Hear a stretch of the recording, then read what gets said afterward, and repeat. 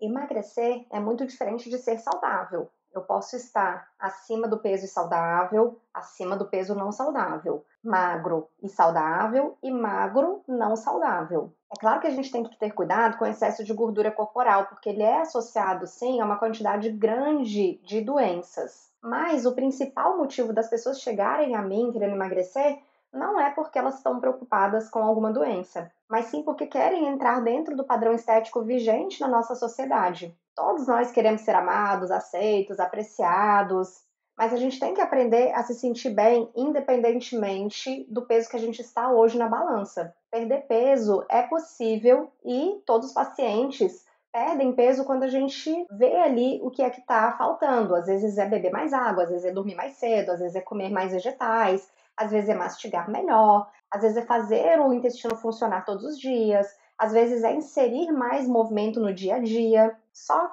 que emagrecer não quer dizer que a pessoa vai ficar saudável, vai se manter saudável. Quando a pessoa emagrece, várias coisas podem acontecer, várias mudanças no metabolismo. Então, em geral, quando se perde peso, a pressão arterial diminui, os níveis de colesterol diminuem, mas o que está dentro da nossa cabeça geralmente não muda. Então, se a pessoa estava comendo as emoções, estava comendo demais, estava beliscando toda hora, comendo muito doce, porque tem pensamentos do tipo: ah, nada dá certo para mim, minha vida não é legal. Isso não muda com o emagrecimento. E o excesso de peso muitas vezes está ligado a traumas, a tristezas, a situações de agressão, a bullying, a ansiedade, a estresse, a tédio. Então, agora na pandemia, que muita gente está trabalhando em casa, não está podendo fazer as atividades que gosta, não está podendo sair. Isso tem influenciado também o estado nutricional, a forma como as pessoas se comportam frente ao alimento.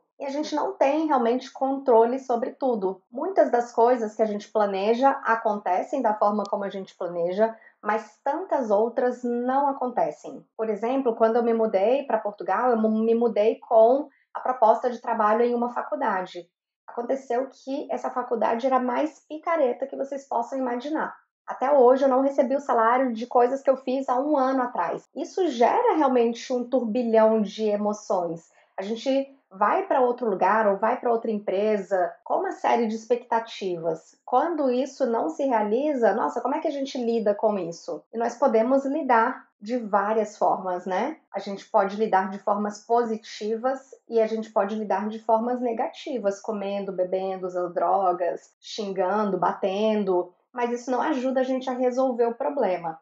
E muitas vezes a gente tem controle sobre as coisas e muitas vezes a gente não tem controle sobre nada. Sei lá que dia que eles vão me pagar será para que lado esse processo na justiça vai? E não adianta eu me enfiar numa caixa de chocolate. Vai ajudar, talvez, aquela quantidade ali de substâncias do chocolate a acalmar minhas emoções nesse exato momento, mas lá para frente não ajuda nada. Então a gente tem que trabalhar para aliviar a ansiedade, a raiva dentro do que a gente tem hoje. Por exemplo, na pandemia, eu fiz coisas que eu nunca pensei que eu iria fazer. Eu pintei sozinha, por exemplo, o meu escritório, o meu banheiro, porque eram coisas que já precisavam ser feitas, reformas que eu precisava fazer na minha casa, e com a pandemia tudo ficou suspenso.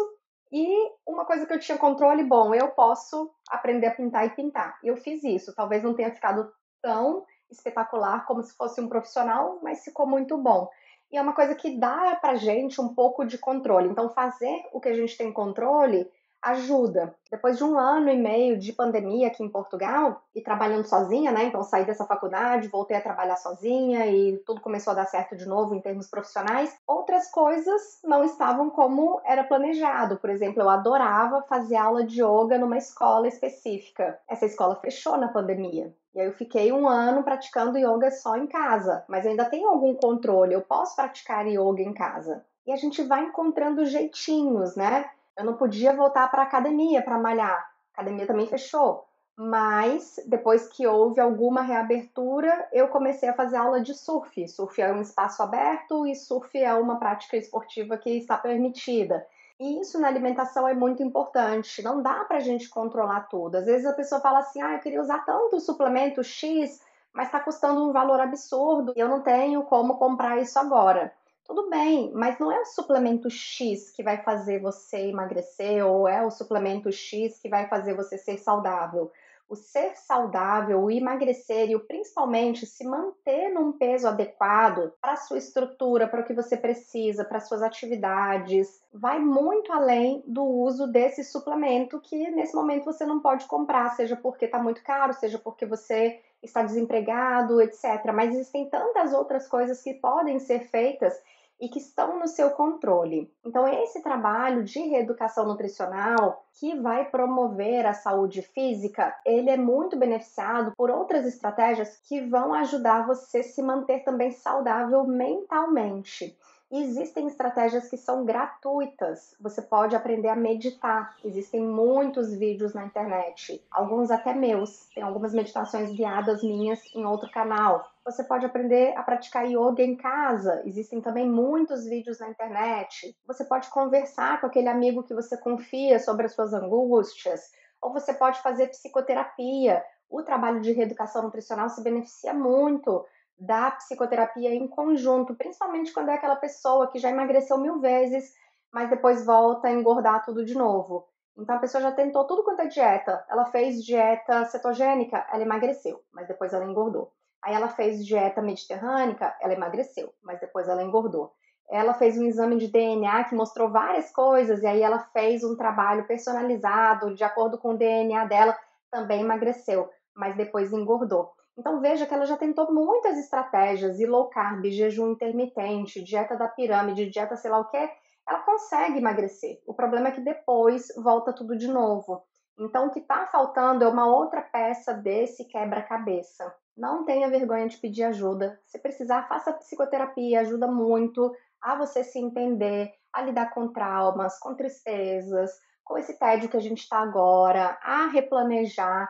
E principalmente, coloque a mão na massa no que você pode, no que você tem controle. E isso abre outras portas. Quando eu pintei a parede do meu consultório, nossa, achei super legal fiz algo que eu nunca tinha feito e ficou do jeito que eu queria. Isso dá também satisfação e é uma coisa tão pequena. Se não tivesse tido essa pandemia, eu nunca teria feito aula de surf. Eu teria ficado procrastinando isso e deixando na área do sonho. Eu nunca faria. E é uma coisa que eu tô fazendo agora só porque teve a pandemia. E estou amando.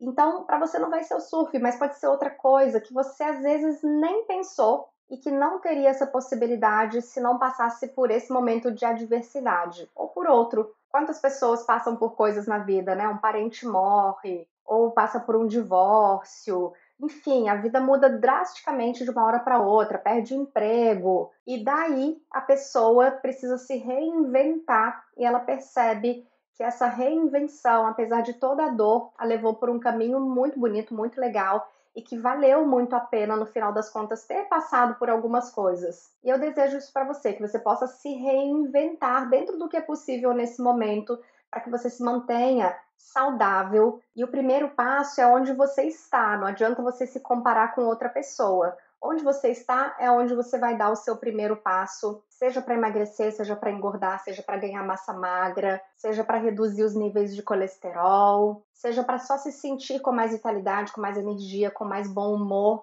Enfim, se precisar da minha ajuda também, você sabe onde me encontrar, lá no site andreatorres.com para marcação barra consultoria. andreatorres.com barra consultoria.